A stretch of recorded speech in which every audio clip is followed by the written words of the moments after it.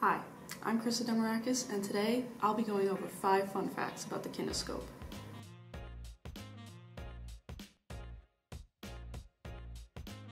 The kinescope is a television picture tube that was used to make records of live television broadcasts onto film reels before videotape recording was envisioned. During use, the kinescope camera was pointed at a video monitor playing the footage intended to be recorded. The kinescope was invented in 1929 by Russian-born American electronic engineer and inventor Vladimir Zworykin. He introduced this invention at a radio engineer convention, which led to a deal being made with the RCA, also known as the Radio Corporation of America. While the name of the device itself was seen as a technical term for cathode ray tube for older technology in television, it really can be broken down piece by piece. The name kinescope comes from the word kinetic, meaning motion, and scope, representing an observational instrument like a telescope.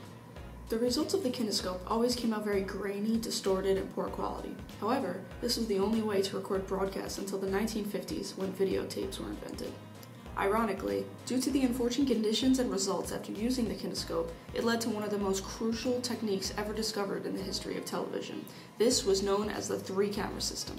In the famous television show I Love Lucy, airing in 1951, main actors Lucille Ball and Desi Arnaz resented the blurry quality.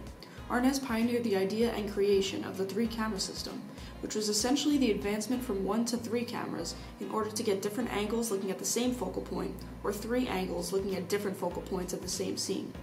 This became a method that advanced the production of film and television making for years to come. Thanks for watching. This has been Krista with 5 fun facts about the kinescope.